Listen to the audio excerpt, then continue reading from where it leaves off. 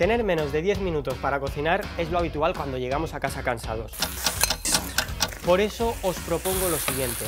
¿Qué os parecería cocinar en solo 7 minutos? Iniciando la cuenta atrás. Me quedan 3 minutos.